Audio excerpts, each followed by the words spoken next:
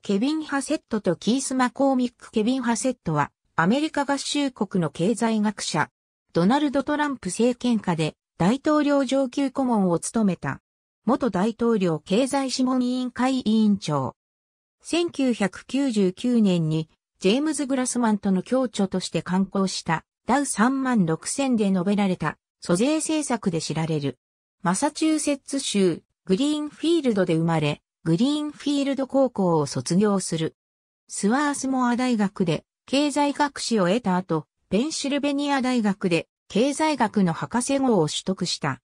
1989年から1993年までコロンビア大学ビジネススクールのアシスタントプロフェッサー。1993年から1994年までアソシエートプロフェッサーであった。1992年から1997年まで連邦準備制度理事会の研究、統計部門のエコノミストとして過ごした。ジョージ H.W. ブッシュ政権及びクリントン政権においてアメリカ合衆国財務省の政策コンサルタントであった。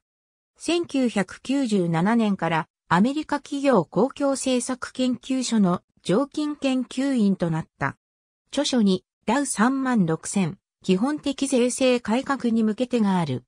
論文に2016年の大統領選挙候補者の当選可能性の統計的測定がある。2017年の初め、ドナルド・トランプ大統領は大統領経済諮問委員会の委員長への指名が近いと報道されていたが、ドナルド・トランプ大統領は2017年4月8日、ケビン・ハセットを大統領経済諮問委員会の委員長に指名すると発表した。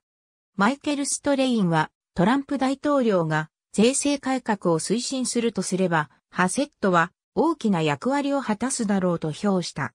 バノンやナバロのような強硬派ではないので、ハセットの指名はウォール街と学会で称賛されていると報道された。CNN のインタビューで、ハセットは税制改革と予算改革により米国経済は4%の成長が可能と主張した。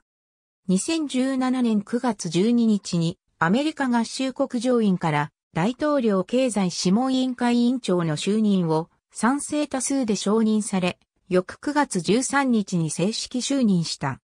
2019年6月2日、トランプ大統領はハセットが委員長を近く退任すると明らかにした。2020年4月15日、トランプはハセットを大統領上級顧問に任命すると発表した。ハセットは法人税率を引き下げて国内投資を刺激し、経済成長率を高めて税収確保も実現できるとするラッファー理論を支持してきたとされる。ハセットはアメリカ企業公共政策研究所の在任中、コネティカット通りのチョコレートショップで事務室の全員分のチョコレートを購入してきたエピソードが語られているように、チョコレートとグミキャンデーを好むと報道されている。ありがとうございます。